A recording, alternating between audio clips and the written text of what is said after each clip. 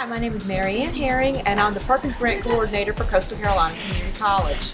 During 2016-2017, one of the focus areas that we used for our Perkins Grant was in our dental department, particularly our dental hygiene program. One of our best practices that we're going to focus on was to help students develop those critical skills and competencies that they need in order to perform to go to work. One of the things that we purchased was dental simulation kits. Tell us a little bit more about those kits is Catherine Cotter, one of our dental instructors. Thanks, Marianne.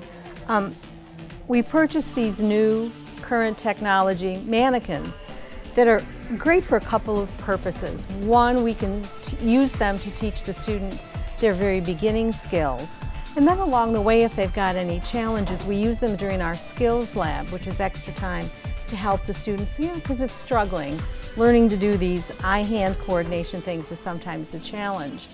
And then as the students advanced during the program, we were fortunate enough to get money to purchase the uh, artificial calculus kits where Mrs. Rose and I can actually construct and make artificial calculus and put it on the, the teeth so that the students can learn detection and then removal.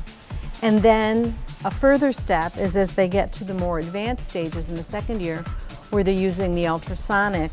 The ultrasonic instrumentation has water that collects in the patient's mouth and these mannequins are great because we can teach them suction and everything that goes with it. And then we have these models too that were the third part of the purchase which demonstrate advanced periodontal disease with the patient. And you can see here we've applied some of this black calculus so the students can practice very intricate um, instrumentation on the uh, exposed root surfaces of the dentition. And what better way to uh, learn a little bit more about how this works is we're going to have one of our students, Elizabeth Oles, and she's going to demonstrate how to use these.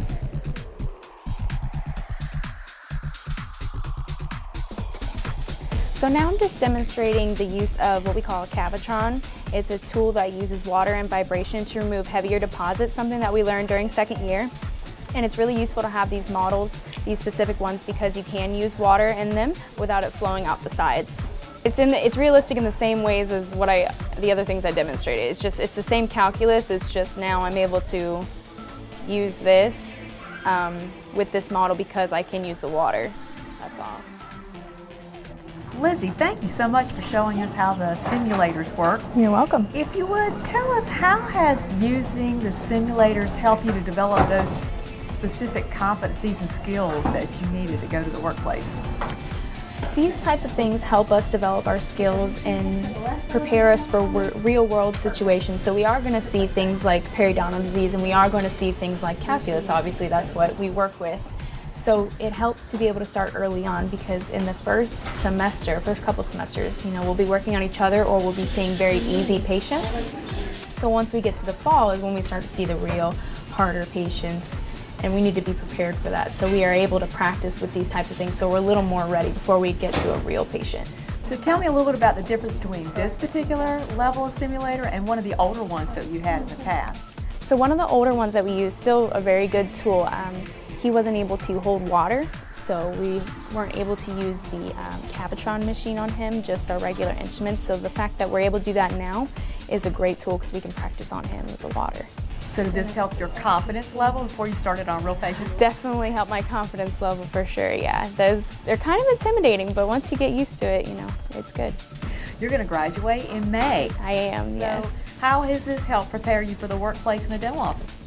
It's helped, um, you know, alongside all of my other curriculum and practices and things like that, just helped me um, kind of go through the levels of this program. So you start by working at, on these types of things and then working on our peer partners and then, you know, we come back to these when we learn the new skills like the Cavitron and then we go back to working on real patients as well. So it kind of just helps go through each little stage of my learning process. Well, you've definitely demonstrated that you have learned a lot. And we wish you the best in your future. Thank you so much.